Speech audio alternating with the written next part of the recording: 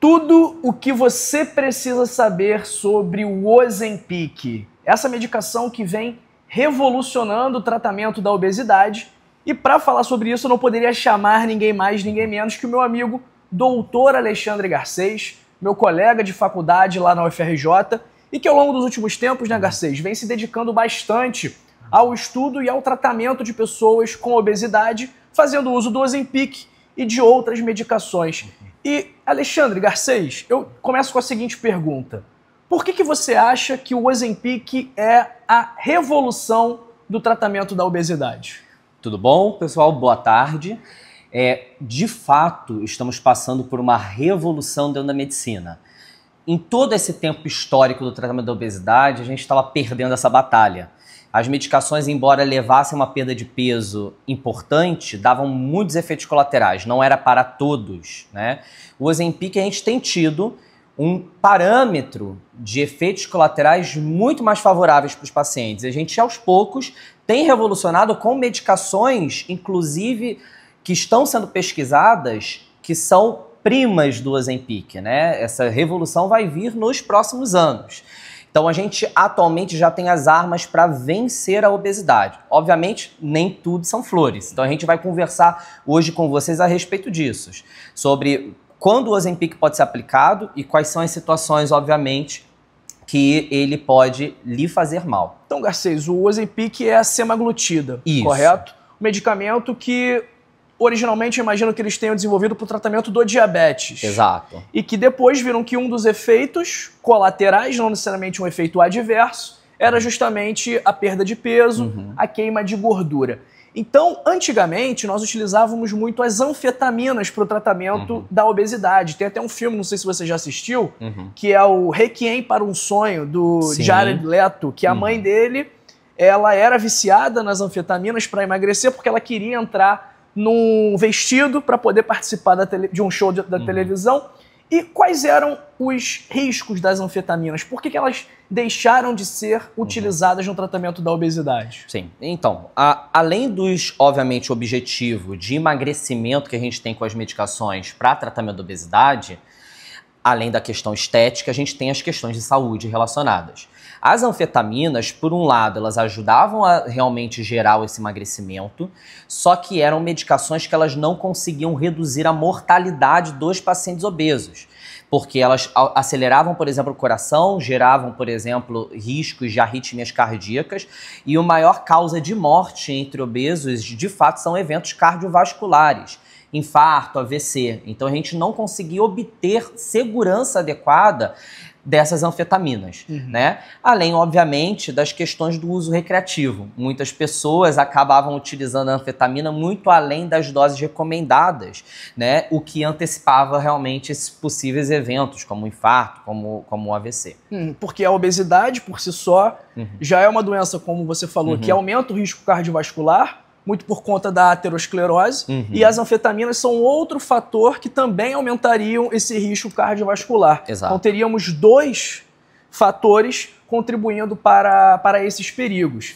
Uhum. Mas a gente, o pessoal não pode achar que, que qualquer um pode tomar o Ozempic, uhum. que ah, que está com um pouquinho de pneuzinho na barriga, um pouquinho de gordura localizada, vai tomar o Ozempic. Então, quais são as indicações uhum. do uso do Ozempic? As indicações, assim, que a gente que uhum. são menos questionáveis, que a gente realmente tem evidência?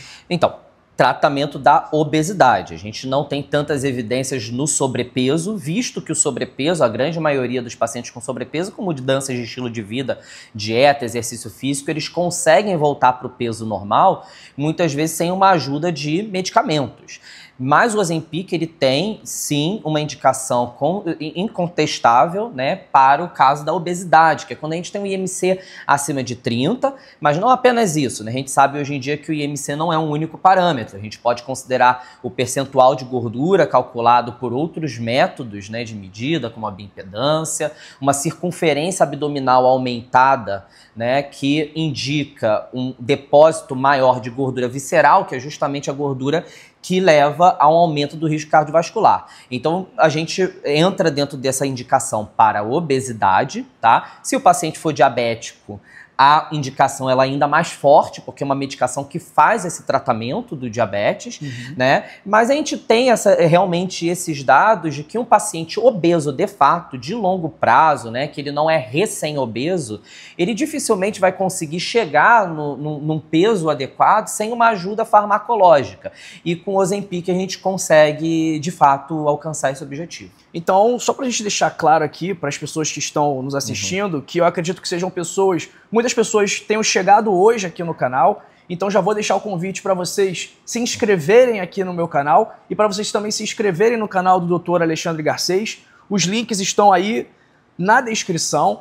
Então, Alexandre, não sei se eu te chamo de Alexandre, de Garcês, enfim, cada hora eu vou chamar como, de uma como coisa. Como preferir. é, a indicação do Ozempic não é para aquela jovem de 25 anos que está muito preocupada com a gordura localizada na barriga. A indicação do Ozempic não é a mesma indicação de uma lipoaspiração, por exemplo, que é baseada única e exclusivamente na vaidade. Então, é uhum. é um tratamento de uma doença. Sim. Correto? Sim. Então, por isso, nós temos que indicar da forma correta. Você uhum. pontuou muito bem que é para pessoas que tem um IMC acima de 30 ou algum outro fator que leve a gente a pensar que essa pessoa é obesa. Uhum. É, então, quanto de perda de peso a gente espera uhum. de um paciente utilizando o Ozempic?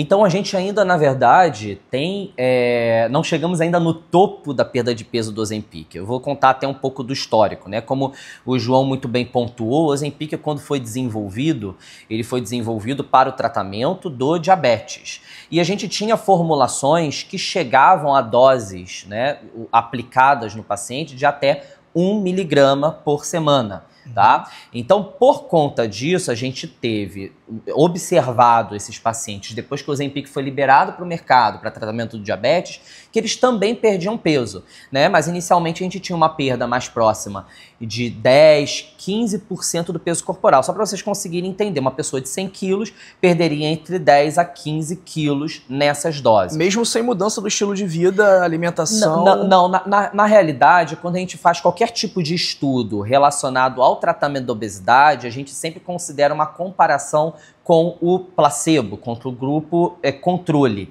E esse grupo controle ele está aderido a estratégias de mudança de estilo de vida, uhum. que não necessariamente são as mesmas estratégias que a gente vai utilizar no, no, na vida real. Na verdade, são estratégias de mudança de estilo de vida até muito mais simples, como por exemplo fazer uma corrida três vezes na semana. Muitos nem estão é, na musculação, por exemplo, eles focam muito em exercício aeróbico dentro desses estudos e alguma dieta, né? Né? Então, sim, o grupo controle e o grupo do Ozempic fazem essas duas coisas. É óbvio que a gente consegue perdas de, de peso muito maiores se a gente faz um programa estruturado de mudança de estilo de vida muito mais personalizado para uhum. aquele paciente. Né? Ele precisa, às vezes, fazer musculação, a gente pode aumentar o volume de treino ao longo do período de acompanhamento. Então, esse acompanhamento ali multidisciplinar, né, com nutricionista, com alguém que possa indicar, ou mesmo um médico, né, que possa indicar as suas mudanças de estilo de vida de maneira adequada, é essencial para a gente conseguir ter um resultado maior. É, porque a obesidade ela é um problema que está uhum. intrinsecamente relacionado ao estilo de vida. Sim. Por mais que sempre tenha uma contribuição genética uhum. na obesidade, uhum. na hipertensão, é, no diabetes, em qualquer outra doença nós costumamos ter uhum. contribuições genéticas, a contribuição ambiental do estilo Sim. de vida é muito mais relevante uhum do que a genética. É, e vou, e vou até fazer esse parênteses. De fato, é muito mais contributiva a mudança de estilo de vida do que a genética. Tem um estudo recente, qualquer coisa eu posso passar para o João para ele também colocar no link aqui do, do vídeo, que compara justamente isso: pacientes obesos com uma genética desfavorável, com alguns marcadores genéticos que a gente considera desfavorável para perda de peso, e, e que incluíram, por exemplo, em programas de mudança de estilo de vida vida,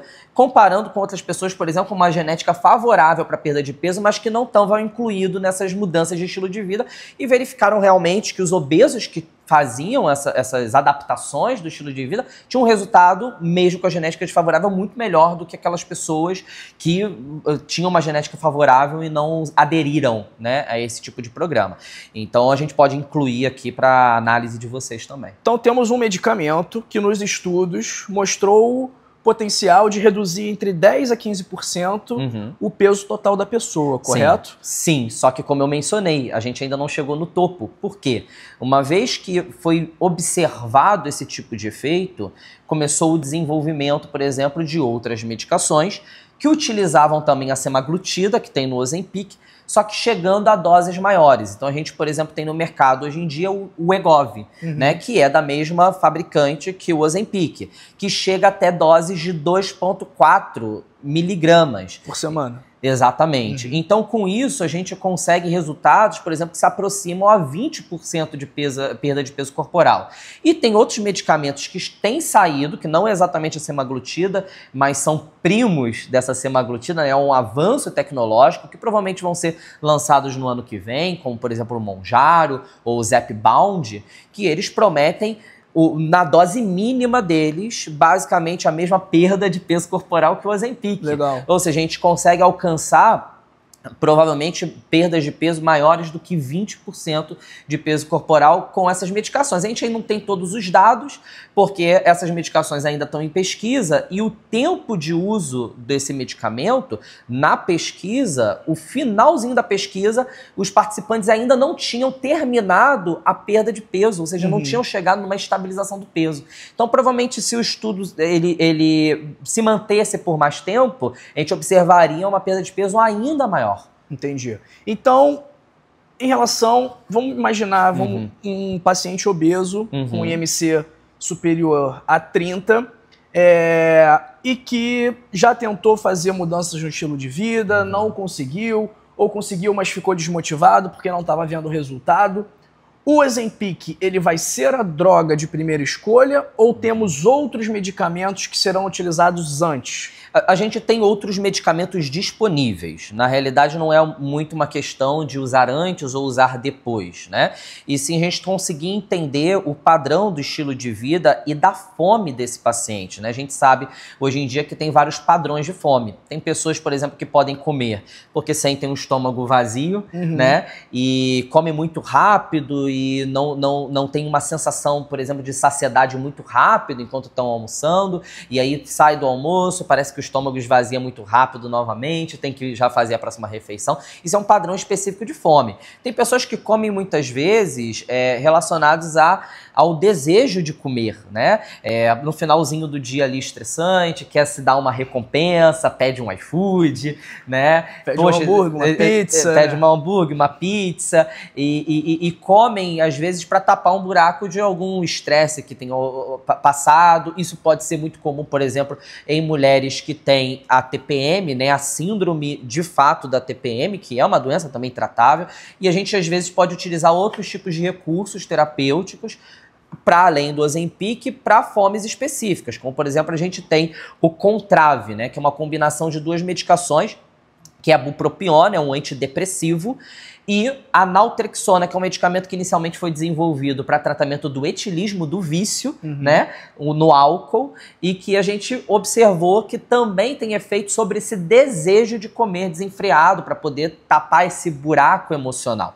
Então, dependendo do padrão de alimentação, de fome desse paciente, a gente pode utilizar outros recursos Uhum. para além do Ozempic. A gente sabe que alguns pacientes, eles não são respondedores ao Ozempic. É uma parcela pequena, a maioria dos pacientes eles respondem, né? Mas normalmente essa parcela pequena que não são respondedores, eles respondem muito bem às outras medicações que a gente tem como recurso. Uhum. É, a gente atualmente tem a sibutramina, o orlistat, a bupropiona com a naltrexona e o topiramato, que lá nos Estados Unidos é combinado com uma substância chamada fentermina, que não, não é disponível aqui no, no Brasil. Então a gente habitualmente combina com a sibutramina, que tem um- uma aparência ali Uhum. com, a, com a fentermina, nos casos que tem esse tipo de indicação. Então, no tratamento da obesidade é, e na perda de peso de modo geral, Uhum. nós estamos sempre buscando o famoso déficit calórico. Uhum. Uma situação, uma condição em que você vai gastar mais energia do que você consome. Uhum. E aí você vai fazer isso é, aumentando a sua atividade Uhum. física e ou reduzindo a sua ingestão calórica ou as duas coisas ao É, mesmo o tempo. ideal seria os dois. Os dois. E aí eu quero entender como que o, o Ozempic, a semaglutida, é um agonista GLP-1, correto? Isso. Como que esses medicamentos promovem a perda a queima calórica, né? De que Tá modo certo. eles proporcionam isso? Que eu fico em dúvida, isso aí é uma coisa, uma, uma dúvida mais técnica, mas Sim. que eu acredito que o pessoal que está assistindo a gente Uhum. também tenha. E Certo. caso alguém tiver alguma pergunta para fazer para o doutor Alexandre ou para mim, Uhum. é só escrever nos comentários ou no chat que a gente vai responder vocês. Então, Alexandre. Tá certo. Esse mecanismo de ação do Ozempic, ele tá também sendo descoberto ao longo do tempo. O que acreditava-se no início é que o efeito ia ser puramente estomacal. Ou seja, por esse efeito dessa substância chamada GLP-1, a gente teria uma lentificação do esvaziamento do estômago. Ou seja, você se sentiria cheio, satisfeito por um pouco mais de tempo. E, portanto, acabaria ingerindo volumes menores de comida que obviamente precisa ser unido isso com a mudança do estilo de vida, porque volumes menores de comida, você se enche mais rápido, mas se você estiver, por exemplo, comendo pelas emoções, você facilmente pode comer uma lata de leite condensado em uso de Ozempic por conta do desejo de comer aquele alimento muito calórico. Tá? Mas acreditava-se antigamente que era apenas um efeito do esvaziamento gástrico mais lentificado, estômago mais tempo cheio. Com o tempo, foram se observando outros efeitos em cima da questão do desejo de comer também, tá? Que foi ju- justamente o que motivou essa evolução tecnológica dos primos do Ozempic, né? Que, como por exemplo o Monjaro que está para ser lançado. O Ozempic ele tem um pouco de efeito sim sobre essa sensação de desejo, ou seja, um efeito cerebral, né? Tanto que a gente observou que algumas pessoas em uso do Ozempic também estavam largando o tabagismo, né? Estavam Hum. parando de fumar por conta do uso do Ozempic, está sendo investigado esse tipo de efeito dele para tratamento do tabagismo atualmente, tá? É, todavia, esse efeito dele é minoritário. O efeito principal realmente é sobre o estômago. As medicações que estão em desenvolvimento, elas já têm um mecanismo de ação cerebral, né, para diminuir o desejo de comer e um mecanismo estomacal para diminuir a fome de fato, aumentar a saciedade, muito mais equiparáveis. Né? Então a gente consegue ter hoje em dia, né, assim que lançar as medicações, Uhum. o- os dois efeitos em maior nível, e por isso que elas levam a uma perda de peso superior do Ozempic. Então, o efeito do Ozempic, ele não é direto na queima de gordura, na Não. perda de energia, como algo que fosse termogênico ou coisa parecida. Não, ele não é um termogênico. É, a, a maioria dos termogênicos, né, a gente acabou não aprovando eles para o tratamento de é, obesidade. Eles, eles foram, é, obviamente, muito pesquisados, porque esses termogênicos eles levavam sim ao aumento do seu metabolismo, né? 30 quilocalorias, 50 quilocalorias. É, para vocês terem uma ideia, para você perder por volta de 1 quilo, vocês têm que ter uma, um déficit calórico de aproximadamente 7 mil quilocalorias no período que você perdeu esse 1 quilo. Em duas semanas, em uma semana. O que, para você conseguir esse resultado com os termogênicos, exigiria a combinação de vários termogênicos.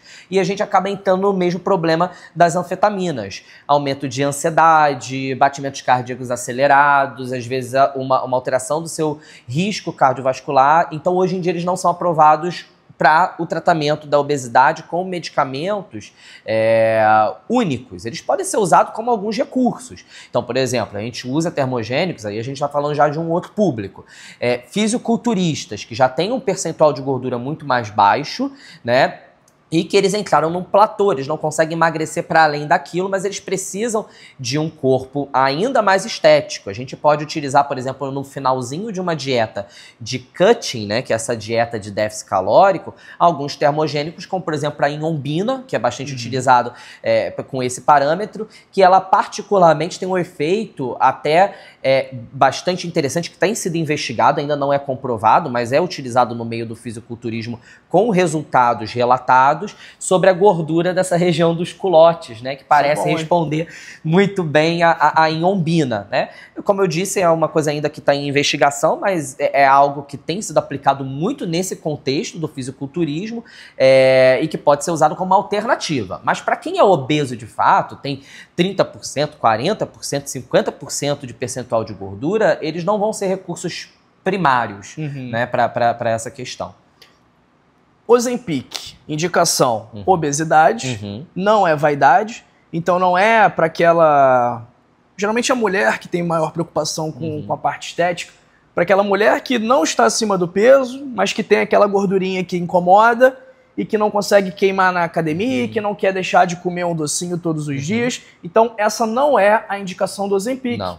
Porque, como você falou, nem tudo são flores. Uhum. Então, agora é um momento que eu quero te perguntar sobre os efeitos colaterais, os efeitos uhum. adversos do Ozempic. Sim. Um deles que, que eu já comentei em vídeos anteriores, que a gente estava falando aqui antes é, de iniciarmos a gravação, é sobre o Ozempic Face, né? Uhum. o rosto de Ozempic. Depois surgiu também o Ozempic Head, né? a cabeça uhum. de Ozempic. Uhum. Então, Garcês, quais são os efeitos colaterais do Ozempic, uhum. é, por que, que eles acontecem e como que a gente evita, como que a uhum. gente reduz o risco do surgimento deles. Tá certo. Vamos começar justamente pelo Ozempic Face que ele já mencionou, né? O que, que seria o Ozempic Face?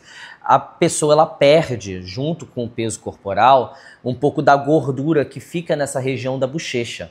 Só que isso não é nada estético. Na verdade, quando você perde essa gordura da bochecha, você fica com o rosto muito próximo ao rosto cadavérico, né? Isso pode gerar flacidez nessa região e mesmo que você busque reganhar o peso, não são áreas que a gordura se deposita com muita facilidade. Você vai ganhar o, o, a gordura na barriga, na sua coxa, mas até você recuperar essa gordura da bochecha vai ser um longo caminho. Então, é um potencial efeito colateral de longo prazo que a gente tem mais do que, pre, que prevenir uhum. do que tratar, né? Porque e, depois. não é. Desculpa, Garcês, mas que não é um efeito colateral, acho que você vai falar disso depois, Sim. que seja especific, especificamente relacionado ao Ozempic. Não, não é relacionado ao Ozempic. Na verdade, é relacionado ao fato de que a gente está tendo uma revolução tecnológica de perda de peso rápida com medicações que têm muita eficácia. Então você pode perder 15, 20, 25%, como eu disse. Se aproxima muito da cirurgia bariátrica, entende? Então, na realidade, é uma, um efeito colateral que ocorre devido a uma perda de peso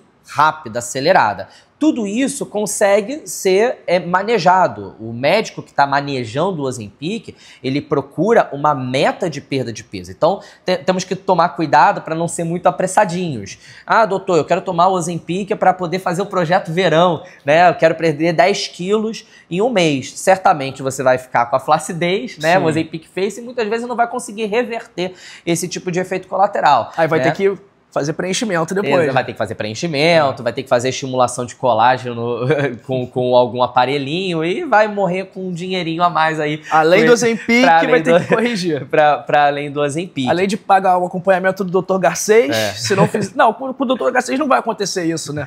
Se não, seguir certinho, não. não. vai acontecer não, isso. Comigo não vai acontecer isso porque a gente estipula metas, né? Metas de perda de peso e, uma, e uma, um acompanhamento dessa perda de peso que, se tiver mais acelerado do que a gente espera, a gente já sabe que esse efeito colateral pode vir a acontecer. Então a gente vai ser um pouco mais lento no aumento das doses, vamos eh, ter um, um, um acompanhamento associado com o nutricionista para poder adaptar a dieta para que isso não ocorra. Então tudo isso pode ser manejado. É, por que, que o Ozempic Face acaba acontecendo muito mais em pacientes que não têm obesidade, que têm apenas sobrepeso e acabam se aventurando no Ozempic?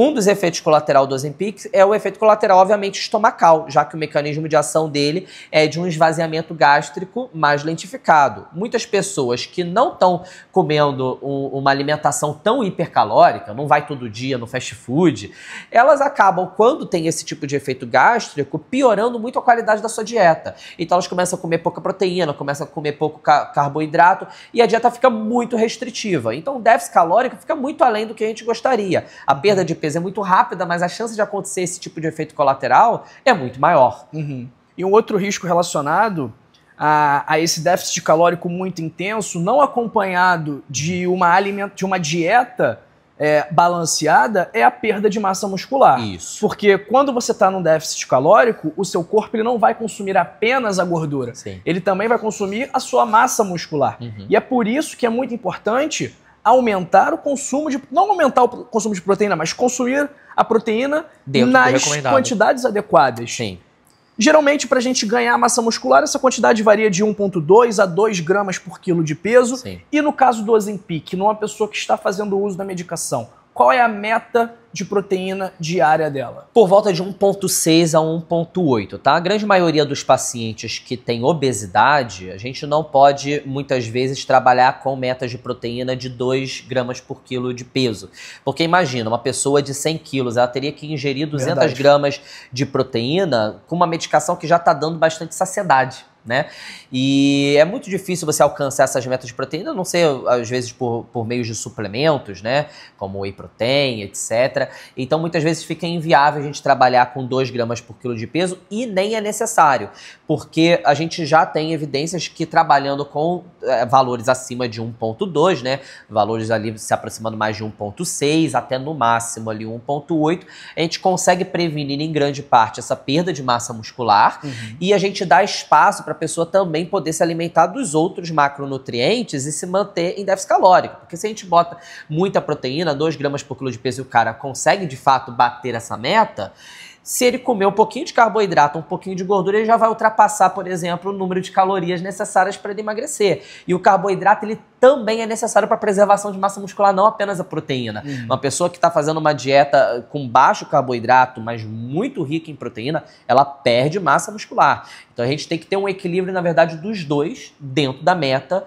de calorias para aquela pessoa específica. E além desse efeito colateral relacionado à perda de peso muito rápida, quais são os outros efeitos adversos que a gente pode observar durante o uso de Ozempic? É, um dos mais relatados seria o refluxo gastroesofágico, que é quando o estômago, ele acaba o ácido produzido pelo estômago retorna para a região do esôfago, você sente uma queimação, um desconforto, o que pode às vezes dar uma sensação de enjoo muito maior do que seria apenas por conta do efeito natural do Ozempic, tá? Então essa doença de refluxo gastroesofágico acontece bastante, principalmente porque alguns pacientes obesos já têm doença de refluxo e é um dos motivos do que, porque muitos médicos às vezes que não têm experiência com Ozempic acabam se estrebando na hora de tentar manejar a medicação, porque eles observam o paciente tendo essa doença de refluxo, ficam com medo,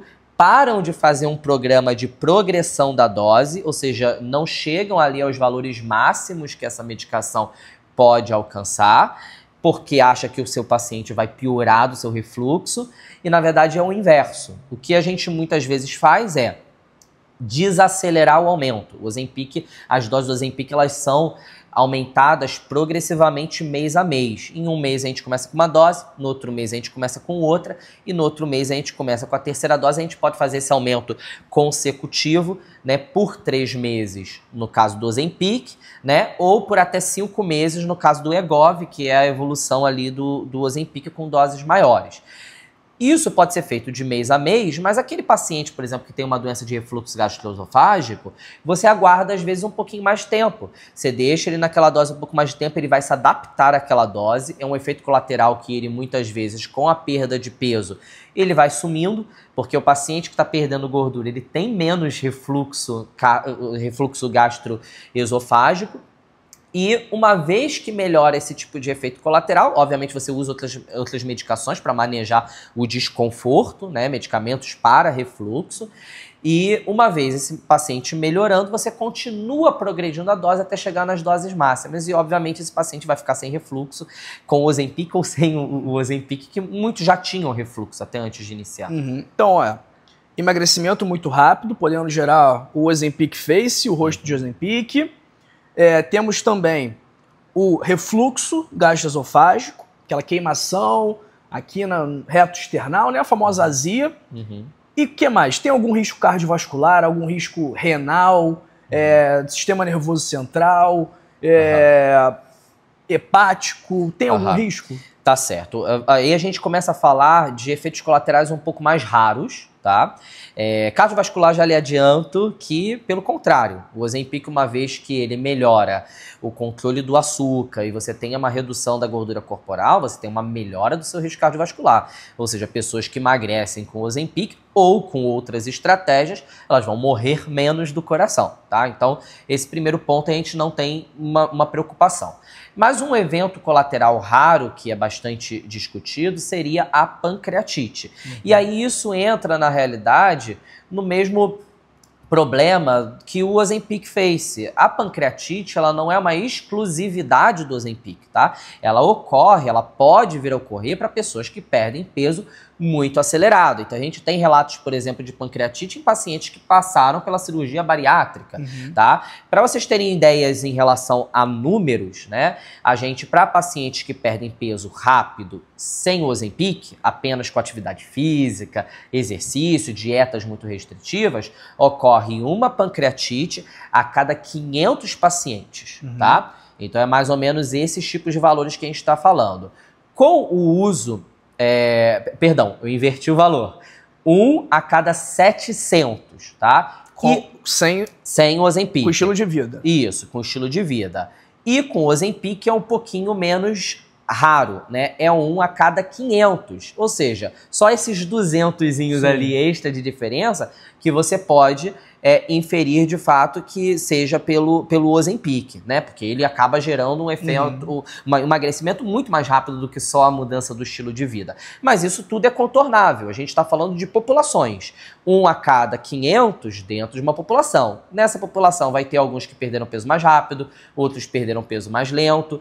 Então, se a gente faz esse manejo né, da dieta associada ao exercício físico e estabelece metas, é um evento colateral que a gente consegue, uhum. Obviamente, prevenir, tá? Então, isso é, é, um dos eventos colaterais. Outra coisa que vocês vão observar, que está em bula, está lá descrito: pessoas que tenham histórico de câncer de tireoide medular, é um subtipo né, de câncer de tireoide, uma doença genética familiar que a gente chama de, de neoplasia endócrina múltipla, que são pessoas que têm vários tipos de câncer relacionados a órgãos endocrinológicos, glândulas, está contraindicado o uso do Ozempic. Então muitas pessoas ficam questionando: ah, então o Ozempic causa câncer de tireoide, causa câncer de tireoide. Aquilo ali foi colocado na bula muito mais por uma precaução de falta de informação que a gente tem a respeito disso com o Ozempic. Por quê? Porque existem estudos em ratos, apenas em ratos, indicando um estímulo de células C, que são essas células que causam esse câncer medular da tireoide.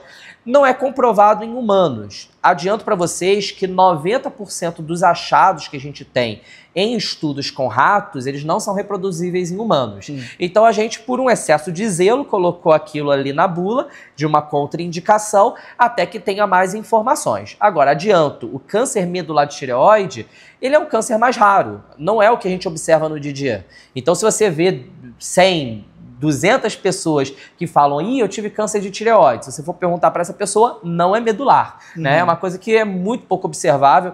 Nos meus cinco anos de carreira, né, cuidando dos pacientes, eu devo ter visto provavelmente uns dois ou três, né? Eu via muito mais lá no fundão, que a gente só via doenças raras, né?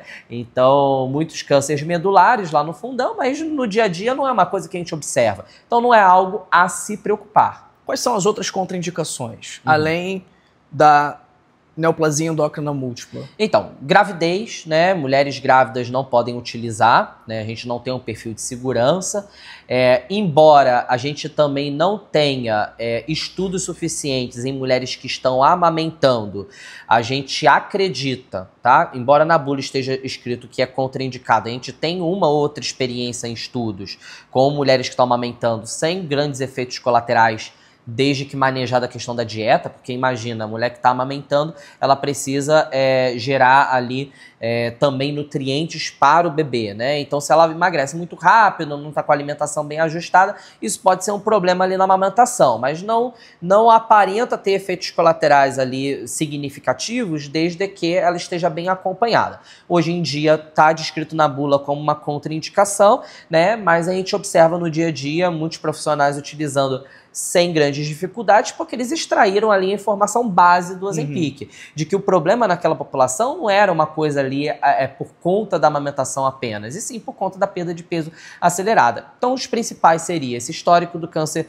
medular de tireoide, pacientes é, é, gestantes, a pacientes que estão aumentando, que têm um histórico de, de neoplasia endócrina múltipla. E pacientes, obviamente, que têm um histórico já de pancreatite, porque acaba havendo um risco maior nesse grupo especial de pacientes. E sempre bom lembrar aqui para quem está assistindo a importância de fazer o tratamento, não só o tratamento com Ozempic, mas qualquer tipo de tratamento para qualquer tipo de condição, de doença, sendo acompanhado por um médico, uhum. por uma equipe multidisciplinar quando necessário e quando possível, Sim. porque isso vai aumentar muito as chances de você ter sucesso no tratamento e reduzir ainda mais a probabilidade de você ter um efeito adverso. Sim. Então, pessoal, quero deixar aqui um convite. Já vou finalizar aqui o nosso vídeo. Claro. Deixar um convite para vocês seguirem o canal do Dr. Alexandre Garcês, que está aí, é o primeiro link da descrição,